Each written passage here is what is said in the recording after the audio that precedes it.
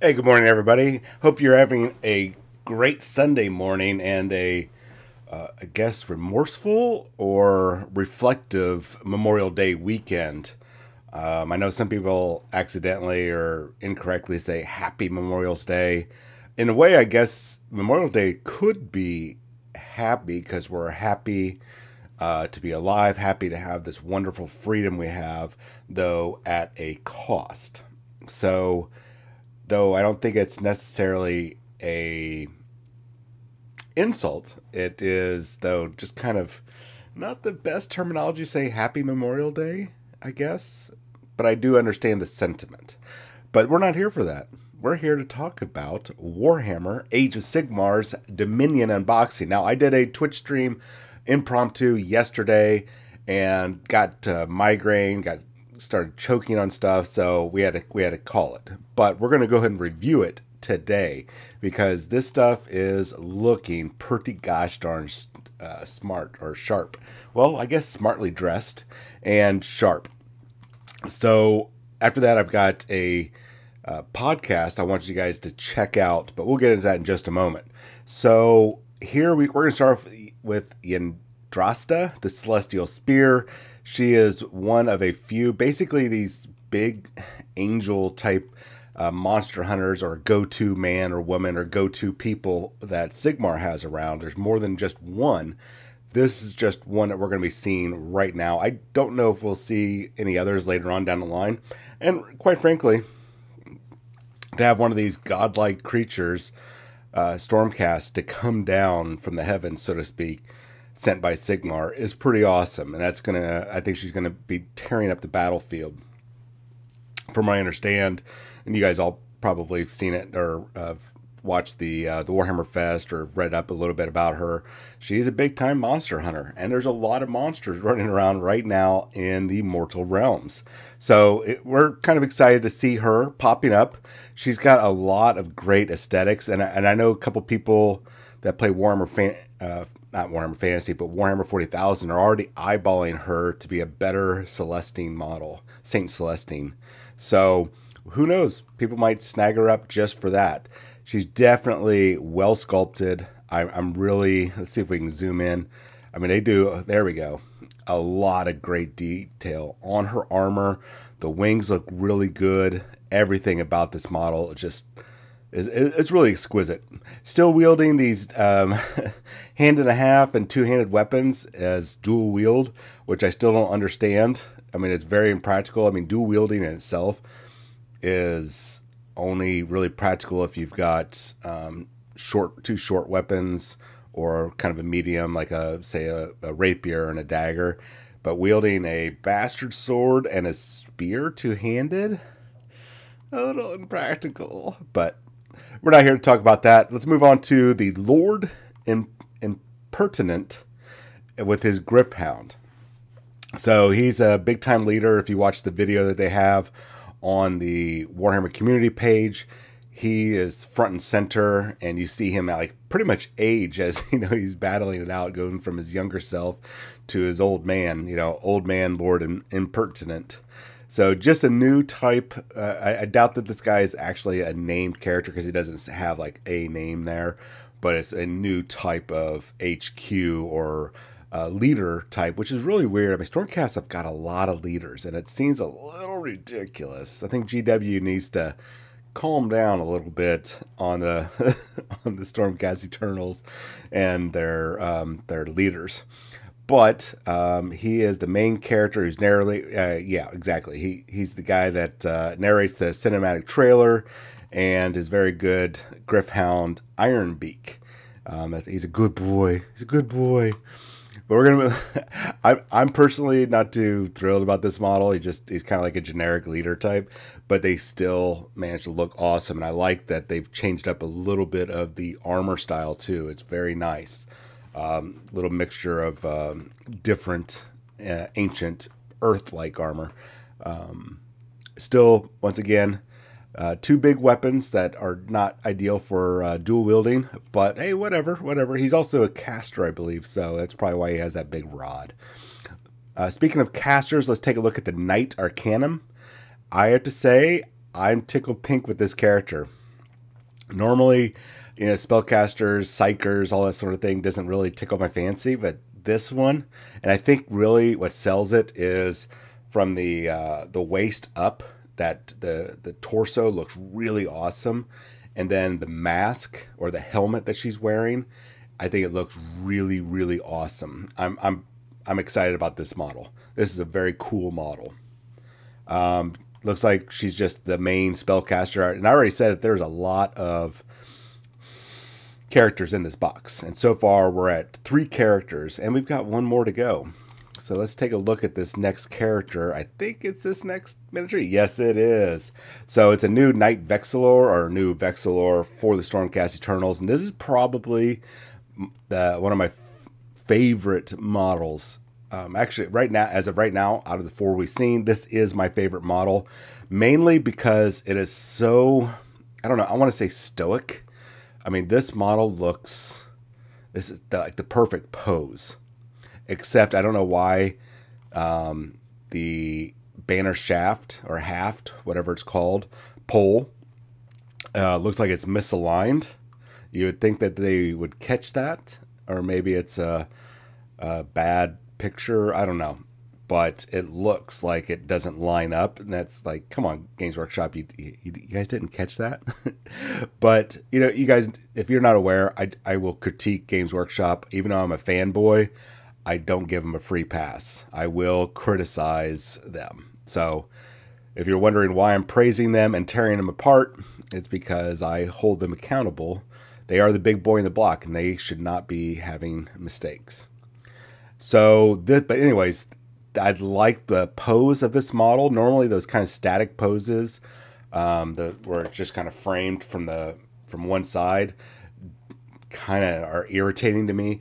But in this case, even though he's standing, you know, just well, like he is, um, the direction that his head is looking and his arms are bent, and then the direction that the banner is flowing actually gives this model more than just a 2D. If you guys remember, Warhammer um, 40,000 used to have these old uh, 2D models like Kharn and a bunch of Space Marine captains, Ahriman, and all them, and they were like static poses, and there was no, uh, they weren't dynamic, and I.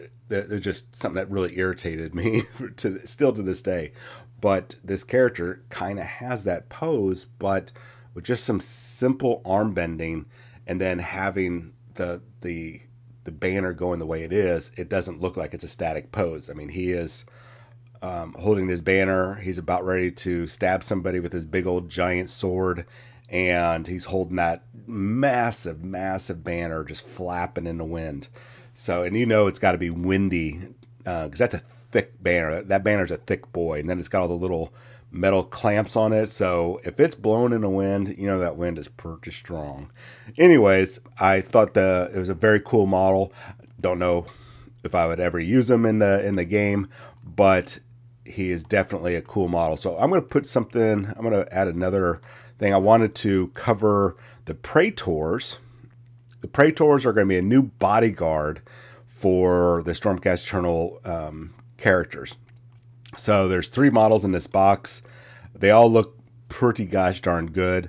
Uh, I imagine they're going to have some, um, and you guys can correct me, maybe some sort of, I forget what it's called for. I don't know if there's an invulnerable type save, but um, I imagine they're going to have some sort of magical save, and then a high high um, normal armor save versus whatever you know type of harm.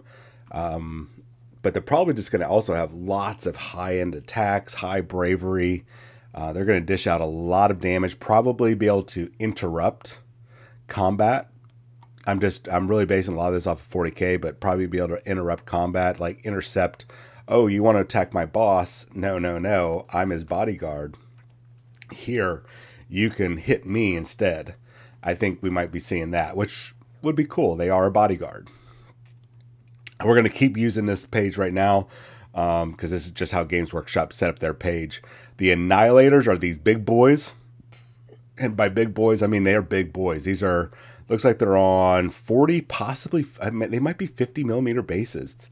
And big old fat hammer, fat shield, fat armor, fat legs, fat arms, big old bat head. These guys are some thick boys.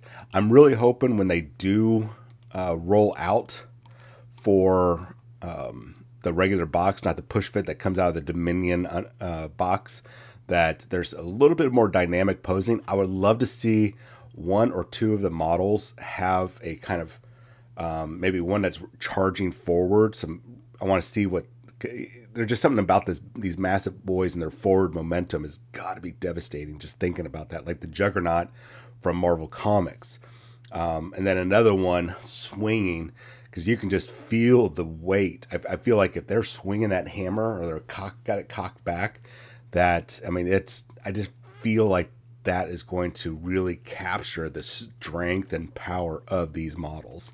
I'm um, hoping Games Workshop will do that, and not just go with these kind of very basic poses. I think uh, two dynamic poses in the box, which will probably be a three man box, I think that would be really ideal. Moving on, we have the new rank and file. I think they're called the Vindicator, Vindicor, Vindicor, Vindic, Vindictor, Vindictors, Vindictors, haha. Uh, basically, spearmen, spear women.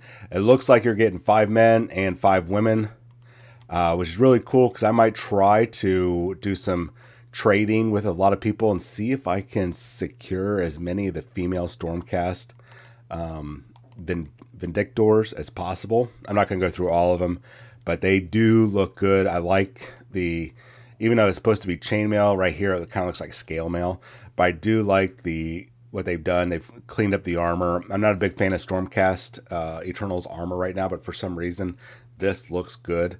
Maybe it's because they're just kind of breaking it up with that bit of chainmail uh, slipping through. So I'm really um, encouraged with these models. These are pretty gosh darn cool. All right, so let's get into the Kruleboyz. Now the Kruleboyz, um, my prediction was they were going to be orcs. Um, and then I was like, oh, they might be hobgoblins, but I was going with a new with a, a type of orc um, maybe a bit technologically advanced orc, and in a way they kind of are, but not. I was a little wrong, but we were still right.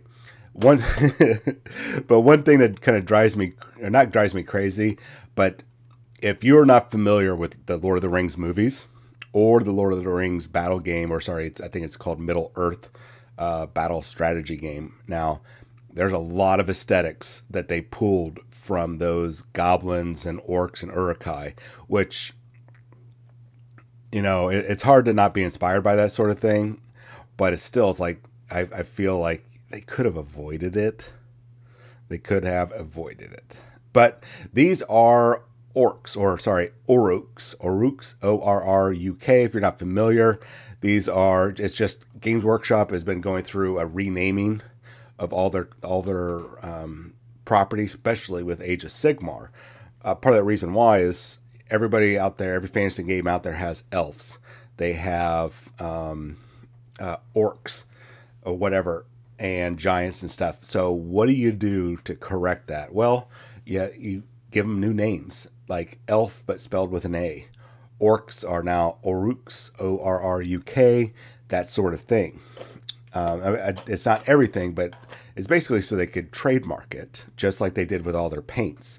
You don't think that they were like, oh, let's uh, you know, um, let's just rename this ultramarine blue to Macragge blue because you know we just want to have a fancy name. No, they wanted to secure uh, a trademark on that because everybody can have anybody can have an ultramarine blue. Ultramarine blue is a color.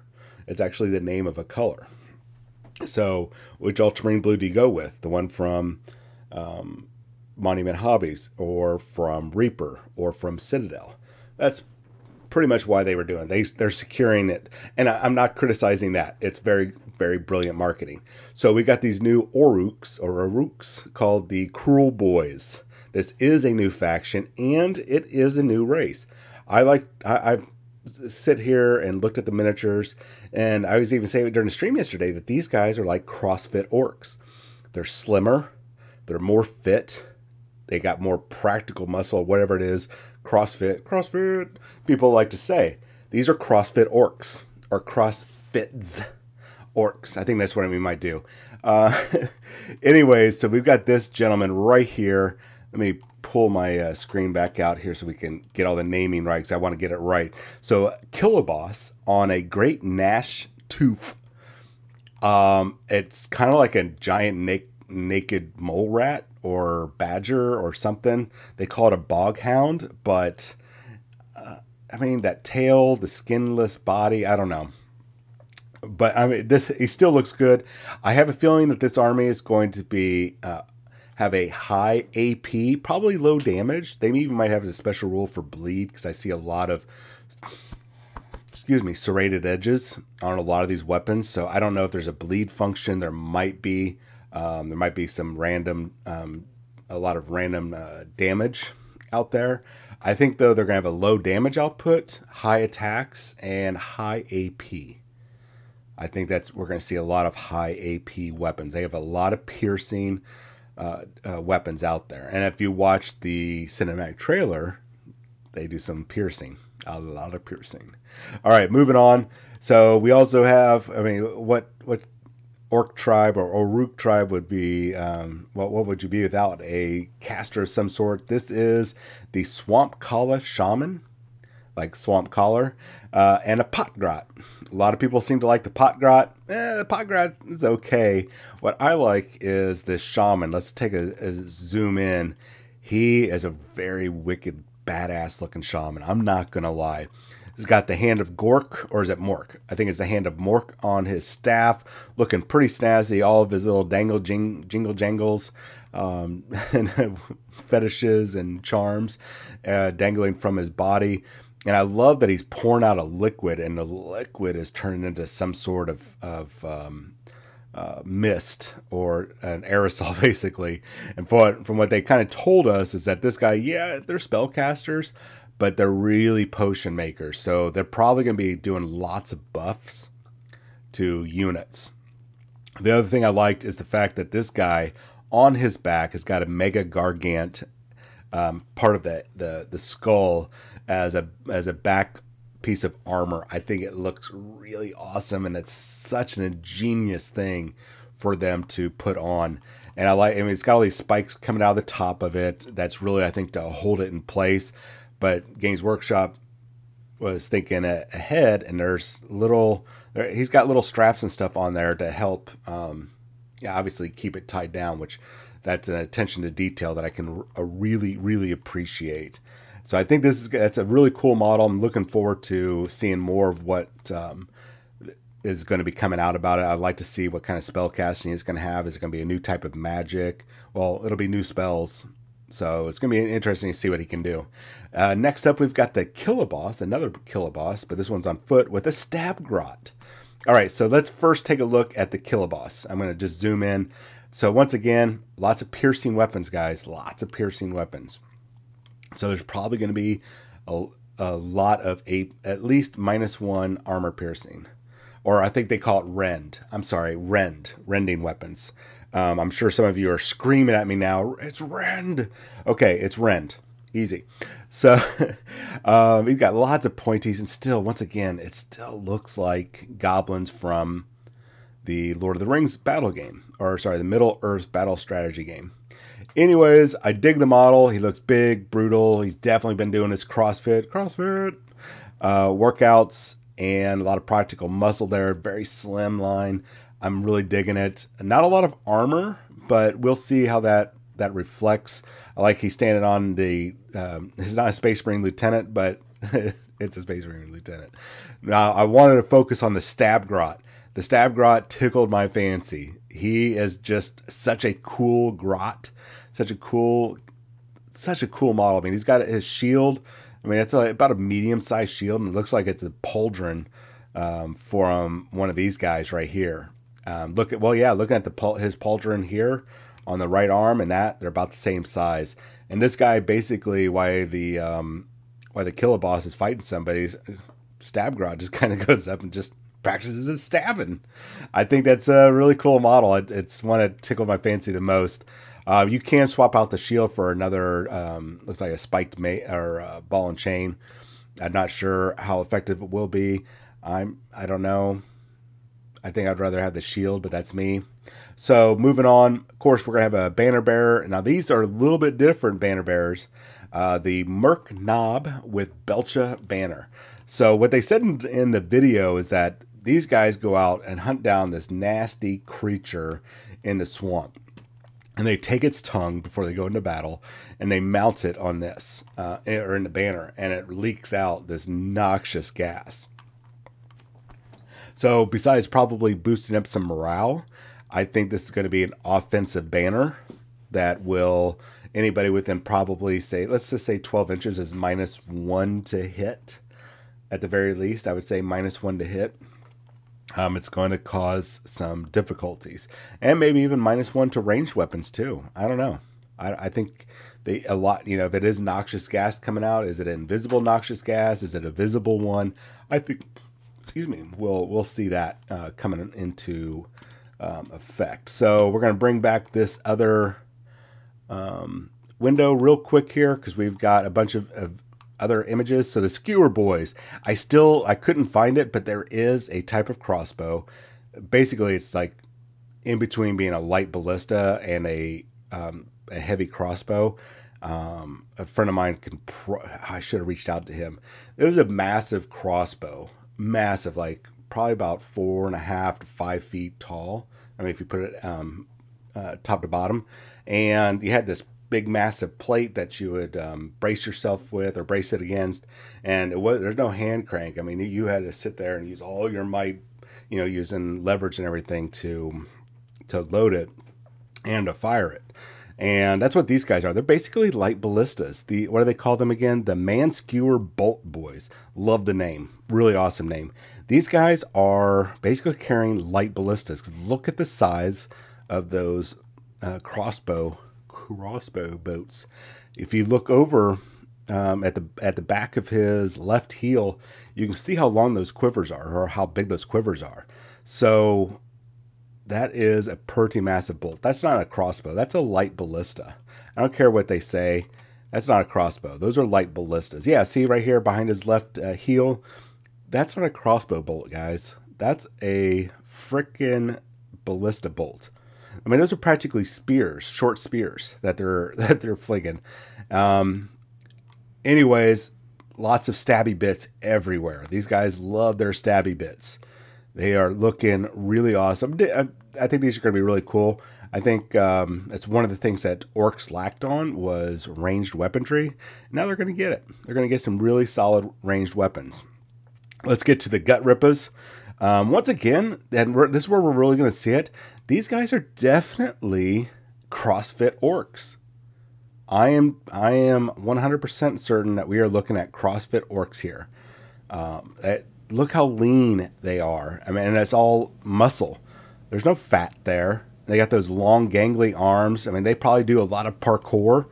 Um, as Texas Wargamer had put it, these are CrossFits, fit with a Z instead of an S, orcs. They are or sorry, Orruks. And I'm digging it. I'm really digging it. These guys are very menacing looking. And I'm actually more, I think these guys are more menacing looking than the Iron Jaws. The Iron Jaws are not as terrifying looking. These guys look intimidating and they look vicious. I mean, look at all the serrated edges, man. I'm telling you, this is going to be a very deadly army. And then we've got their hobgoblins. Um, uh, sorry, uh, the hobgobs, uh, hobgrot uh, slittas, slittas, and they're going to have little grenades, lots of stabby, lots of stabby uh, knives. I imagine they're going to have some sort of infiltration ability. Uh, but they are going to. They're not. I don't think they'll be your big rank and file, but I think uh, uh, you'll see a small. Depending on the rules, you'll see at least probably one small group group in the army. They're probably going to be really cheap and they're going to be effective at disrupting the backfield of your opponent. Um, but I don't think they're going to be definitely be frontline troops. Okay, moving on. Let's take a look at. Let me pull this window back out. This is all live right before I go uh, head out of town here. So there's no editing. So we're going to have, a, I mean, of course, just like with Space Marines, there's always going to be new Stormcast models. Even though we just got new Stormcast models, we're getting even more new Stormcast models. So we have the Knight Judicator with Gryph-hound. So it looks like it's just going to be one model with basically a ballista, a light ballista. Because that's not a normal arrow, dudes. And that's not a normal bow. That's like, I mean, cause remember, the Stormcast Eternals are bigger than regular humans. They're basically Space Marines. Yeah, I know. Sigmarines. Uh, I know we've been hearing that for like five, six years now. The joke's over. but those are massive, massive longbows. Um, probably another good two feet bigger than a regular longbow. Maybe even a little. I'm going to go with two feet. That seems about right. And those those arrow shafts are way longer than a regular arrow shaft. So that's basically a light ballista. Also, and he's going to get some Gryph-hounds probably to hunt. Now, I imagine that you know there's going to be unit cohesion, so he's going to be good to have out there, maybe for sniping, uh, so to speak. And then he's going to have the Gryph-hounds that will be nearby to protect him. Now, if they're able to break away from him and engage or harass the enemy, that'll be cool. But if it follows most Games Workshop rules, they'll have to stay close to him, which is not a big deal. I just think it's cool that they've got these awesome charging dynamic poses. These guys look very, very intimidating.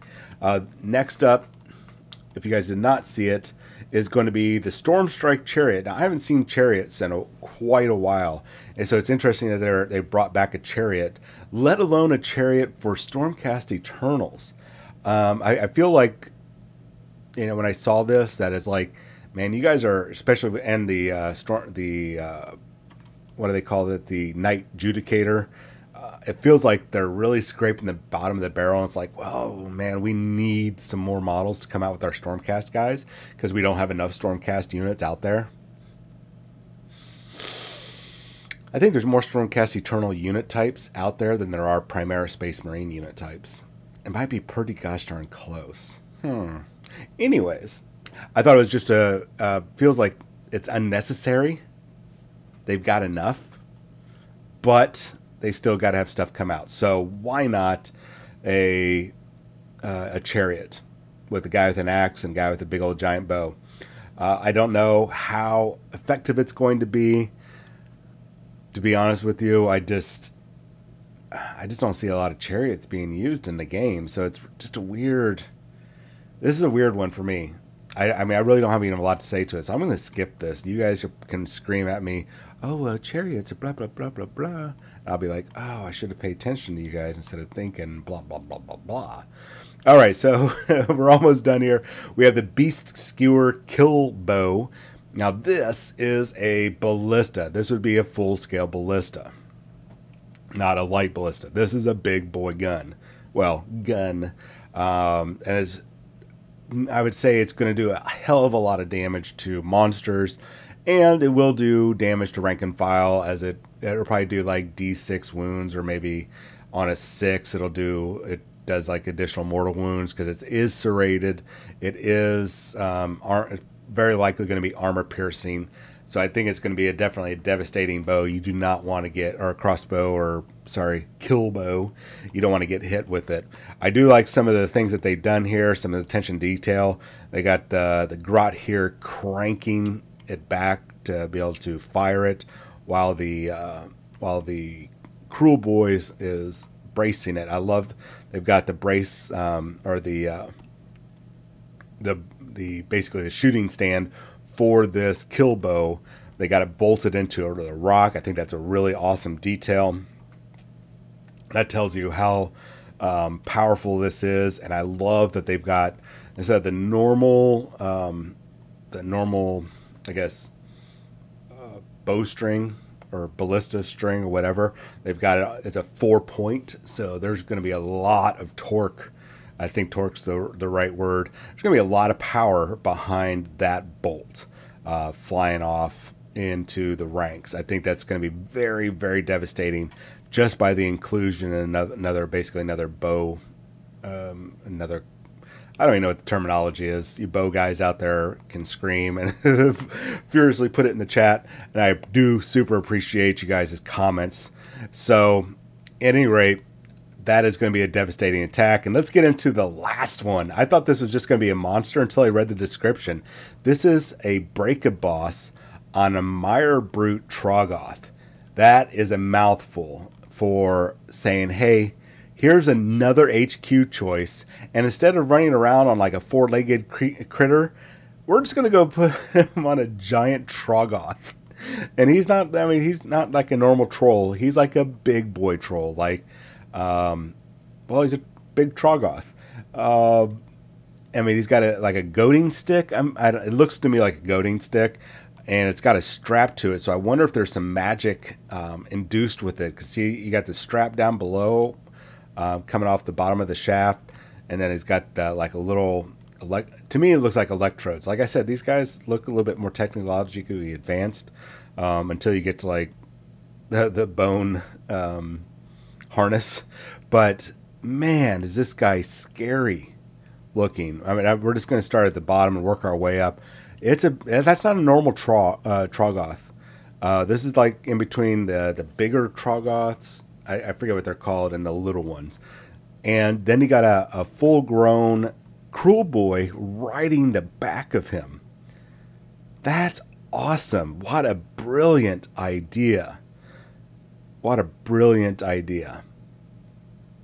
Man, that's going to be devastating. This guy, this guy's going to dish out some damage in close combat. But yeah, he's a, a Breaka-Boss, um, and he, he's not like a like a rent herder or anything like that. He's a he's basically a, an HQ choice, and he's going to dish out a lot of damage. Well, I don't know if he'll dish it out, but I imagine the Troggoth that he's controlling is. I mean, two massive uh, close combat weapons and probably a lot of health and healing. Watch out, boys and girls. So, right now, the Dominion box is scheduled to go on pre order in June. Even though they didn't say there's limited quantities, this is a launch box. So that's their way of saying it's limited, but it's not limited because they don't want to use that terminology. So just like Indominus, if you remember the drama for the Indominus box, there's going to be limited quantities and then they're going to be gone. Now, they might do what they did with, since they did drop the ball at the Indominus, is allow a brief window of made to order and you'll get it like 121 days after its release. My suggestion to you is go ahead and secure yourself one box and find a buddy that wants a box as well and both of you buy a box and then you split the contents. That way you can double up. And then if you want to swap around some of those extras, you swap around those extras. But at the very least, secure yourself a box before you do anything else. Okay? So I want to highlight a friend of mine. He is a tournament player. He actually went 5 and 3 at uh, the Dallas Open, which doesn't sound great, but he went 5 and 3 with uh, Genestealer cults, which are a notoriously underpowered and difficult army. And he's actually done very well in his rankings against top players. And he is a very skilled player. I don't want to give his last name, but I will give his first name, Eric. And he started up a podcast. He's on the FN Pro team, by the way. He started up a, a podcast and he's put it up on YouTube. And I want to highlight it here Brood Brothers Broadcasting. And now you might not be a Gene Genestealer cult fan, or a uh, that might not be your go-to army. But just like I mentioned with Tizkin uh, podcasting the other day, they give out lots of great tips. And if you're not picking up a tip on how to use Genestealer cults because you're not a big fan of Genestealer cults, you don't use them. But all the other tips about playing in these majors the super majors, the GTs, is going to be extremely helpful for you. Whether you're just a weekend warrior and you just go play your games at home, like the vast majority of Warhammer 40,000 players I found out, vast majority of Warhammer 40,000 players or any tabletop gamers, they actually play at home versus stores. And there's more people playing at stores casually than there are tournament players. Tournament, but no matter what you do, the the uh, information coming out of these players, these top players um, in in the world, really for playing Warhammer 40k or Age of Sigmar, those those tactics bleed over into regular play because you guys are both competing. It's just one's traveling to play compete against 205 or six people. You are just playing Todd and Brenda and little Timmy at your local store. There's a big difference in the the type of people you're playing, but the strategy and the tactics that doesn't change. So one thing that uh, I was just discussing this with him yesterday, um, ninth edition, and with the the changes coming out for the chapter approved next weekend, there's a lot of um, a lot of tactics and and choices in your uh, strategy planning on what type of secondary missions you're going to be taking um, just like I said, whether you're playing a casual game or you're playing in a tournament, whether it's a local tournament, GT, major, super major. I don't know if there's anything now above a super major. I don't think so. Super major is like one of the newer things, but the tactics remain the same. You're still competing to uh, against another opponent. You're still trying to win, and uh, unless you're teaching somebody, that's different. That might be a little different but the, still the point is that you can still learn. And um, this gentleman is a um, uh, big into physics big into the math the mathematics and he does a great job of breaking it down even dummy level like for me to where i can understand oh okay so if i want to maximize points by the end of the game um, i need to really be paying attention to this type of secondaries um, if it's at a GT, this type of secondaries, if it's at a, a, regular weekend, this one for super majors and whatnot, and which ones I'm good for my army at achieving. So, long story short, do me a solid. Head over to Brood Brothers Broadcasting. Um, jump on probably his latest video, the Dallas Open, episode 7. Uh, leave a thumbs up, leave a comment, let them know that you came over from Havokmkr Studio and or uh, over here on YouTube. And go ahead and hit the subscribe button. It doesn't cost you anything to subscribe, but it does help us out. And I'm hoping uh, we'll get some re- reciprocity. But I would like to support people that are out there championing the hobby in their own fashion. It's an absolutely amazing thing. And um, Eric is a brilliant strategist, brilliant when it comes to uh, Warhammer 40k, and it shows when he's able to do really really exceptionally well with an underperforming army. That that shows you the the type of person that you are dealing with, the, the quality of his understanding of the game, tactics, and strategy. So please jump over there. I'll put a link in the description below. And also make sure you hit that subscribe button here on FNP Wargamers or jump over to Havokmkr Studio Depending on which channel you're on, that link will be in the description. I super appreciate it. You guys have yourself a wonderful weekend, and I will talk to you probably sometime next week. We should have a couple videos next week. I'm going to be out of town, but I still plan on doing some videos. Talk to you all later.